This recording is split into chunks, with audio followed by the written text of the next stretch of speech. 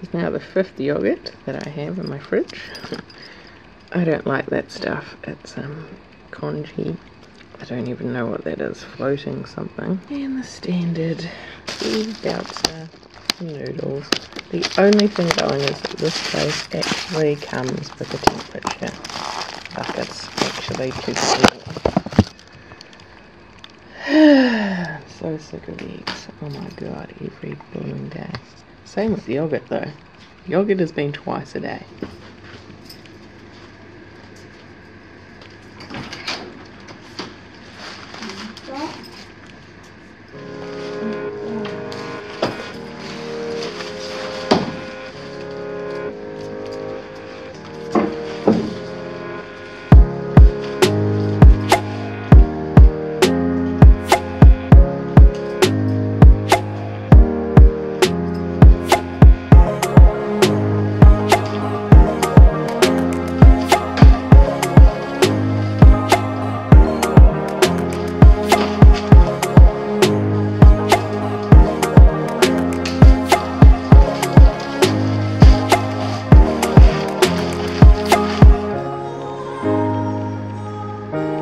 Thank you.